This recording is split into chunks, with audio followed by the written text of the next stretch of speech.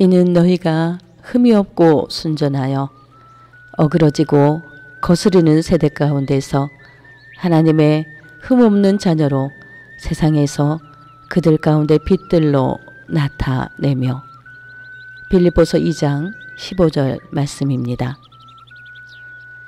이 세상에는 꼭 필요한 사람과 그렇지 못한 사람이 있습니다. 그리스도인은 세상 사람들에게 꼭 필요한 사람이라는 인정을 받는 사람이어야 합니다. 물론 세상의 평가가 전부는 아닙니다. 하지만 하나님의 자녀는 하나님께서 원하시는 선한 삶을 살아야 합니다. 사도 바울은 그리스도인들이 흠이 없고 순전해야 한다고 가르칩니다.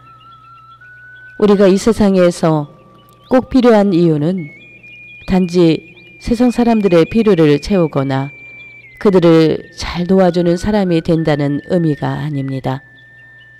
세상 사람들이 우리를 통해 주님을 만날 수 있는 사람이 되어야 하는 것입니다. 다른 사람들과의 관계에서 바르고 선하게 살아가야 합니다. 언제나 다른 사람들을 배려하면서 그들을 위해 힘써야 합니다. 주님을 섬기듯이 다른 사람을 섬기십시오. 욕심을 내려놓고 그들의 필요를 먼저 생각한다면 세상은 우리의 목소리에 귀를 기울일 것입니다. 하나님의 성품을 닮아 흠없고 순전하게 살기 위해 최선을 다해야 합니다. 그것이 이 어그러지고 진리를 거스리는 세대 속에서 세상 사람들에게 우리가 빛으로 살아가는 길입니다. 이 어두운 세상 속에서 불안해하는 사람들에게 주님의 빛을 보여주는 그리스도인들이 되어야 합니다. 복음을 들으면 싫어하고 더 나아가 복음을 증오하는 사람들이 너무나 많은 시대입니다. 이럴 때일수록 우리 그리스도인은 더욱 복음에 어울리는 삶을 살아야 합니다.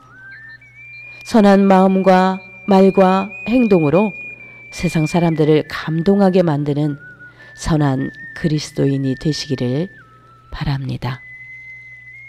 기도합니다. 주님, 이 어두운 세상에서 주님의 빛을 들고 살아가게 하옵소서. 우리의 행실로 하나님께서 영광 받으시는 삶을 살아가게 하옵소서. 선한 마음과 말과 행동으로 세상 사람들을 감동하게 만드는 우리가 되게 하옵소서. 예수님의 이름으로 기도드립니다. 아멘.